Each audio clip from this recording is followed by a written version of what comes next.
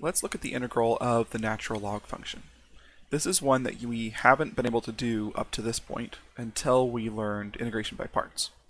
If you remember, back when we were reviewing basic integrals, I mentioned that this is one that we would learn how to do eventually, and that time has come. So we're going to do this one using integration by parts. And it may look a little strange at first, because if you look at this, we're used to using integration by parts when we have two functions multiplied together. So it may look odd here because it doesn't look like we have two functions multiplied together. We just have the one function, natural log of x. But let's push past that for a second and think about our LIPET acronym. And the very beginning of that scale is the log functions, like natural log of x. So if we were going to use u as anything, it would make sense to let u equal the natural log of x. So what's left for dv? Well, just the dx. But there's no reason we couldn't do that. Nothing's stopping us from letting dv just equal dx. So let's try it that way.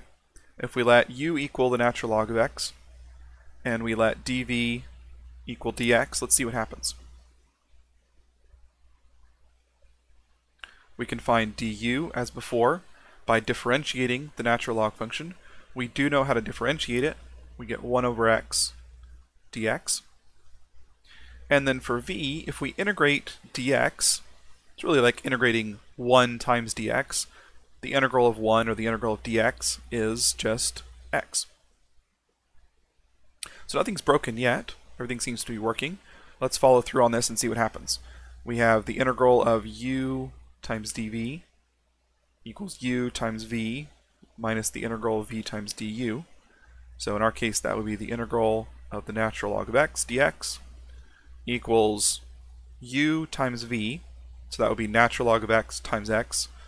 But I'll write it this way so that it's a little bit clearer. x times the natural log of x minus the integral of v times du. v is x, du is 1 over x dx. Now look at that.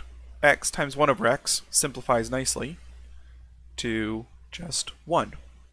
So we end up with the integral of 1 dx or just dx.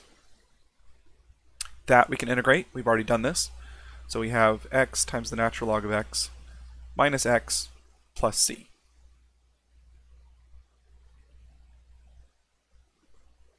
So now we know what the integral of the natural log function is.